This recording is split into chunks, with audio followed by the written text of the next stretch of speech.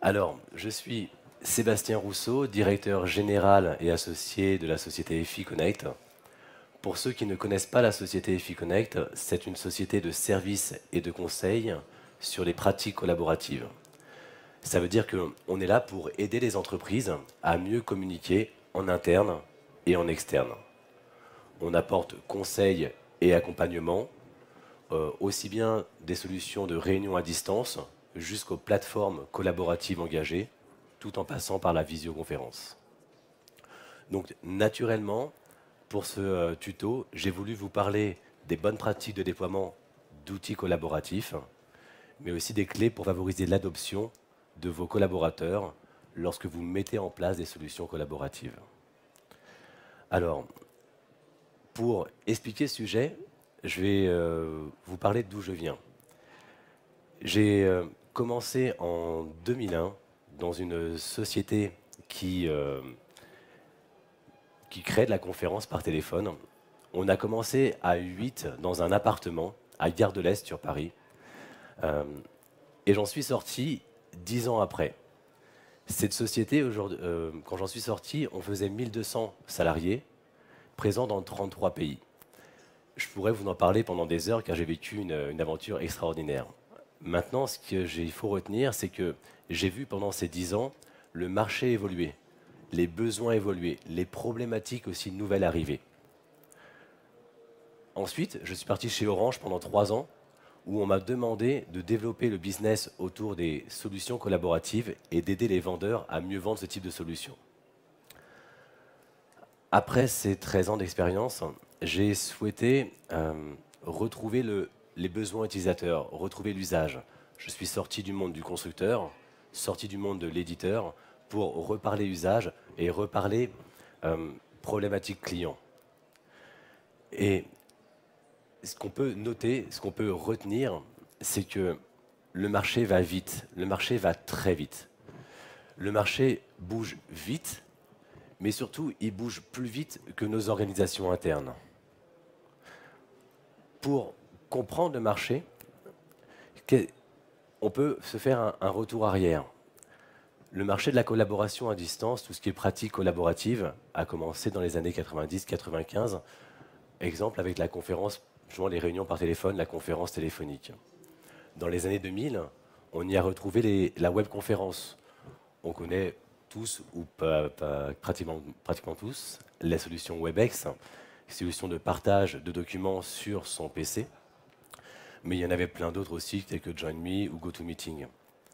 Ensuite, ou en parallèle plutôt, on avait la, visioconférence. La visioconférence qui était plutôt réservée euh, aux patrons, on avait des belles salles de réunion, mais les collaborateurs ne pouvaient pas trop y aller.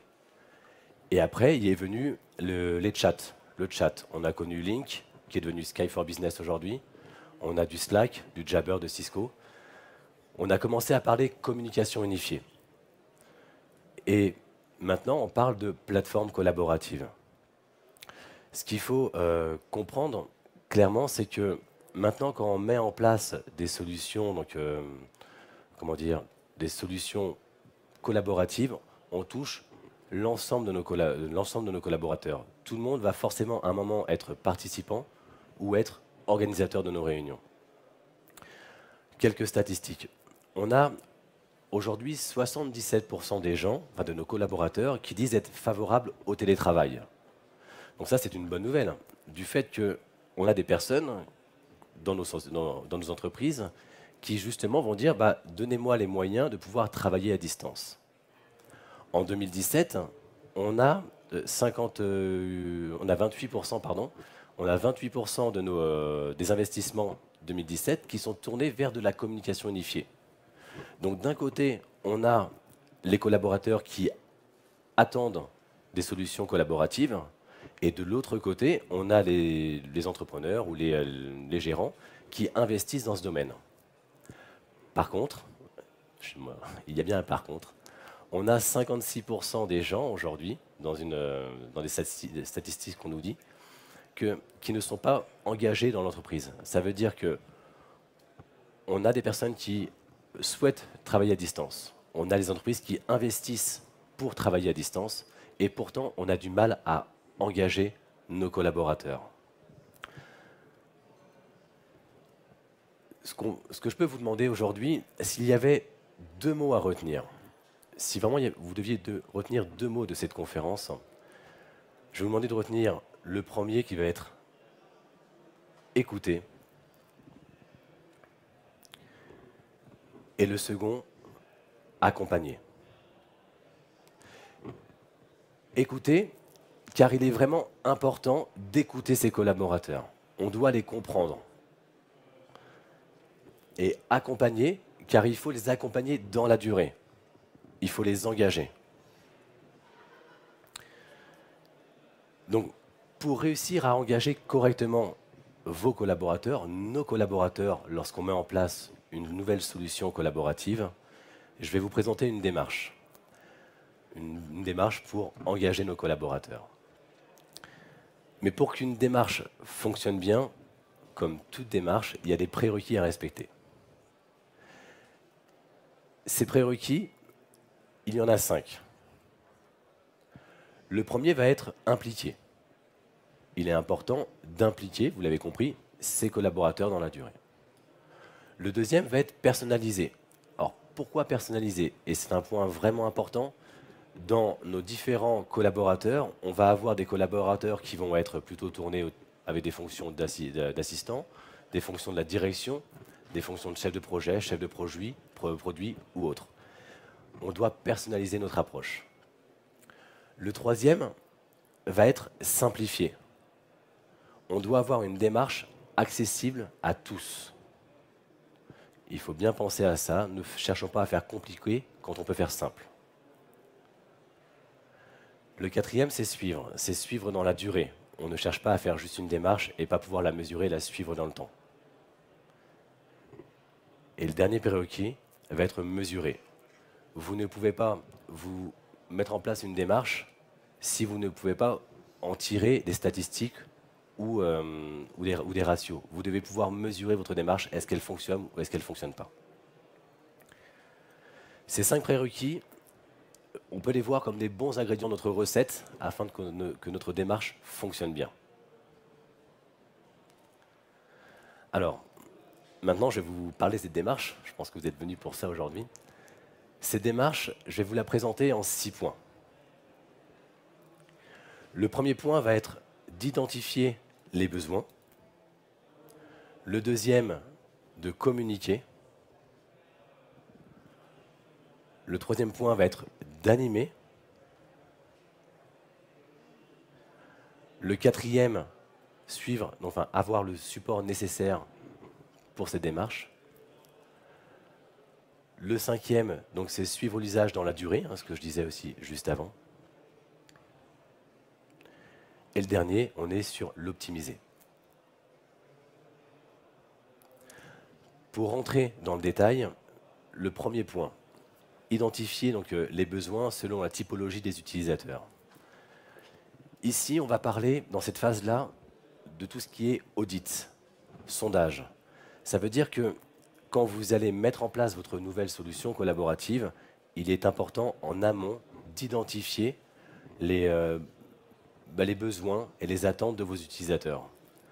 L'objectif ici va être de pouvoir discuter ou d'échanger dans le but de récupérer de la donnée.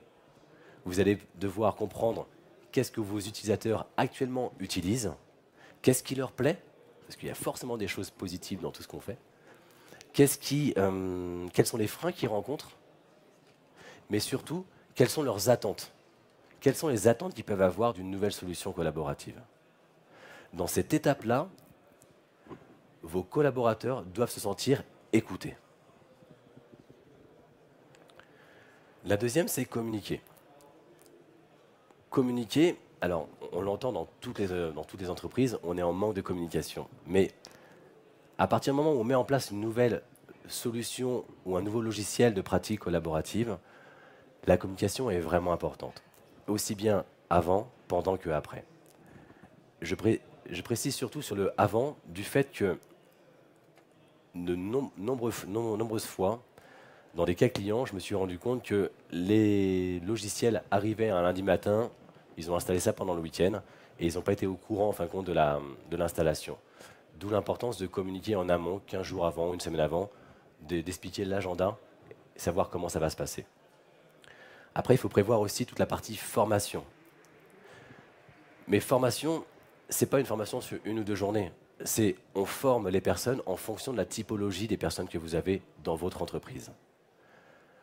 Ça veut dire qu'on ne va pas former le directeur général ou le, comité de direction de la même façon que les assistantes ou les collaborateurs. Donc on doit faire des formations verticales. Ensuite, un conseil sur les formations que vous pouvez faire. Faites des formations simples. Vous allez sûrement avoir des logiciels qui peuvent faire plein de choses, mais faites des formations simples. Vous aurez largement le temps dans la, durée de pousser des formations niveau 2 ou niveau 3. Vos formations doivent être accessibles pour tout le monde et compréhensibles par tous. Dernier point dans, dans cette étape, il faut prévoir tout ce qui est guide utilisateur. Il faut savoir aujourd'hui, les personnes qui n'auront pas bénéficié de formation, elles doivent pouvoir comprendre et savoir comment euh, utiliser le logiciel en question. Et aussi, c'est tout ce qui est fiche de démarrage. Aujourd'hui, que je sois sur mon téléphone, que je sois sur mon PC, que dans une salle de réunion ou autre, même si les solutions sont de plus en plus simples, il y a toujours des petites différences d'après le device ou d'après le matériel qu'on va utiliser. Donc il est important de faire des fiches, de démarrage en fonction du matériel que les personnes peuvent utiliser.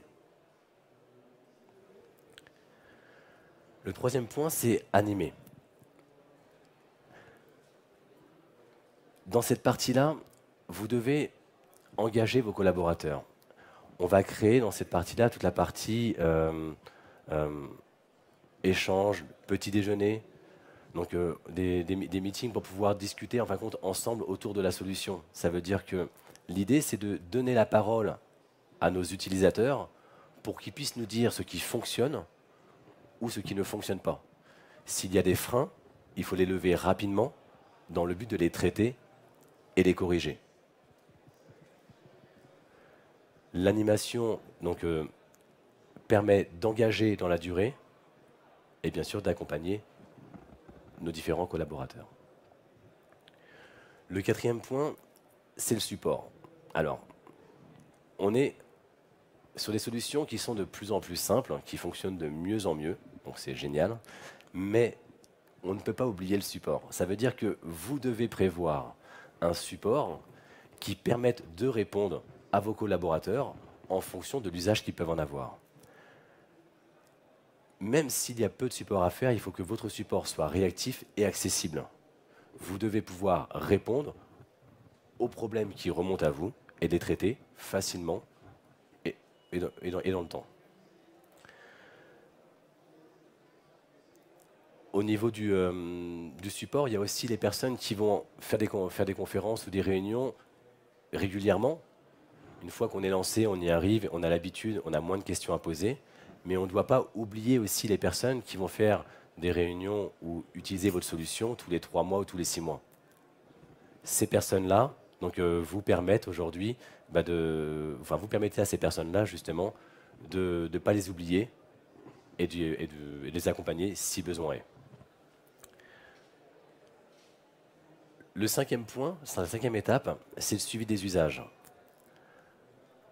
Aujourd'hui, on parle de taux d'adoption. Je ne sais pas si ça vous parle quand on parle de taux d'adoption, mais un taux d'adoption, c'est, ça vous permet de voir globalement si votre solution est bien déployée ou pas au sein de vos collaborateurs.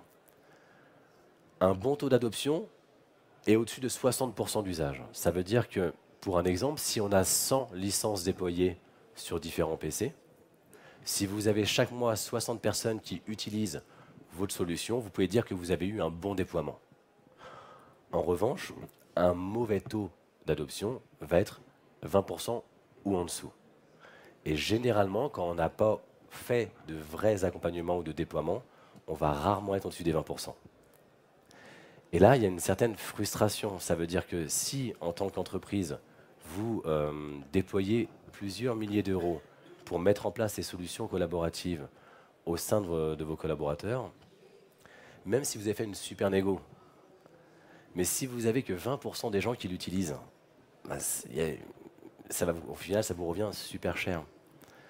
Donc il est vraiment important de pouvoir suivre les usages afin de maîtriser votre taux d'adoption et de voir ce qui marche, ce qui ne marche pas. Voir est-ce que votre taux d'adoption il est en baisse, est-ce qu'il est en croissance. Vous devez le savoir. Ça veut dire que quand vous choisissez votre solution collaborative, au départ, vous devez savoir et vous devez euh, maîtriser quelles sont les statistiques que vous allez pouvoir récupérer dans le but de vous donner ce type d'information-là. Le dernier point, c'est le côté optimisé. On l'a bien compris, et je vous l'ai dit tout à l'heure, le marché va vite. Le marché va très vite.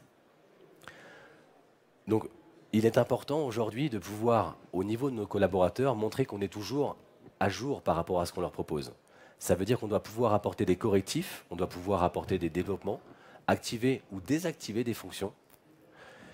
Et si possible, ce n'est pas évident, mais si possible, garder une veille.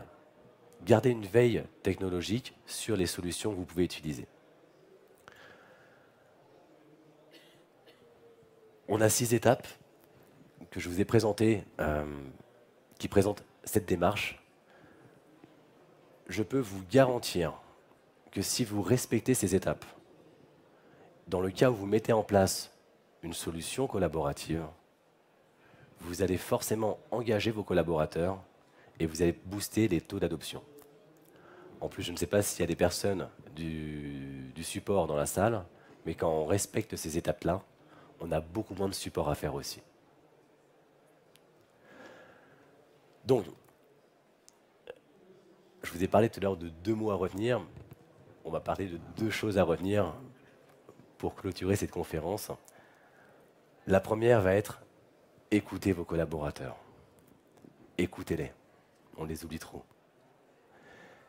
La deuxième chose va être de les accompagner. Il faut les accompagner dans la durée. Merci à tous. J'espère donc euh, vous avoir apporté des clés pour mieux engager vos collaborateurs lors de la mise en place de solutions collaboratives. Je crois qu'il nous reste une ou deux minutes pour des questions. Je ne sais pas s'il y a des questions dans la salle, mais avec plaisir pour en discuter.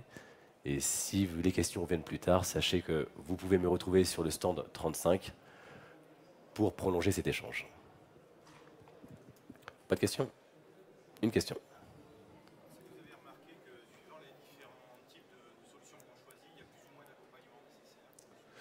Alors, c'est pas ce qu'il faut croire. C'est avec que, bien sûr, il y a des solutions très simples et donc faciles d'usage. Euh, mais c'est pas parce qu'une solution est simple qu'il faut moins faire d'accompagnement. C'est justement l'erreur qu'on fait souvent. C'est plus les solutions sont compliquées, plus on va prévoir d'accompagnement. Donc c'est bien. Mais en revanche, quand une solution est simple, euh, on ne peut pas oublier l'accompagnement.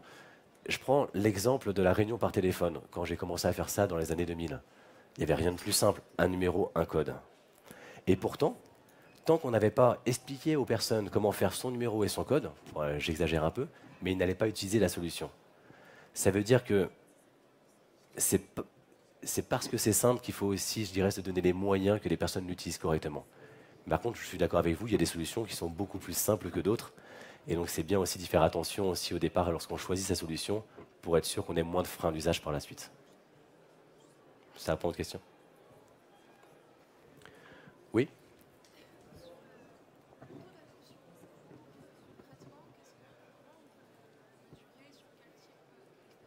Alors, on pose la question sur le taux d'adoption. Comment le mesurer?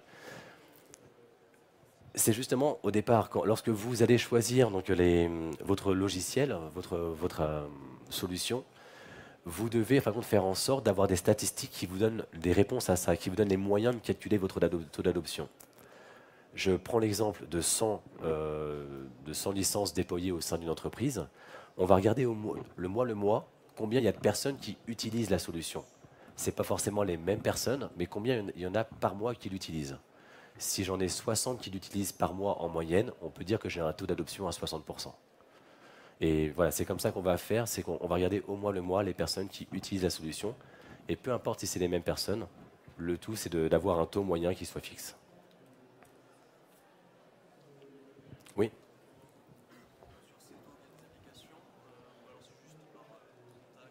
Non, on, va les mesurer par les statistiques qu'on peut récupérer. Ça veut dire que euh, c'est les statistiques qui vont nous donner le, bah, taux d'adoption, l'usage qu'on en a chaque mois ou chaque jour.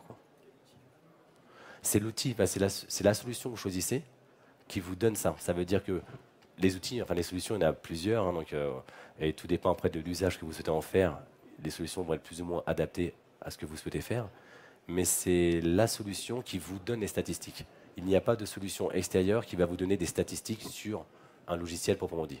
C'est pour ça qu'il est important de choisir le bon logiciel de départ qui vous donne aussi des statistiques.